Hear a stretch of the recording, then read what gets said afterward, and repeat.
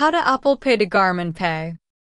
You cannot directly transfer funds or payments from Apple Pay to Garmin Pay. You can use a payment card added to both wallets for seamless integration. To add card on Apple Wallet, open Wallet. Click plus in the top right corner.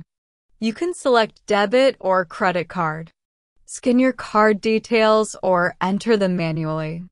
Enter additional details. To set up Garmin Pay, you will need a compatible Garmin watch paired with the Garmin Connect app on your smartphone. Touch More on your Apple iPhone or the three-line icon on an Android smartphone. Then, touch Garmin Pay. Touch Get Started. Next, touch the watch you want to use with Garmin Pay. You will need to create a passcode for your watch. Click on MasterCard Read the terms and conditions, and then tap Continue.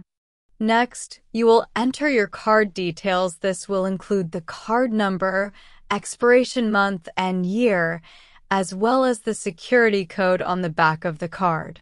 Fill out the name and address information, then touch Next. Your bank may require you to verify that you want to add this card to Garmin Pay. You can now access the Garmin Pay wallet on your watch. That's it. Thanks for watching.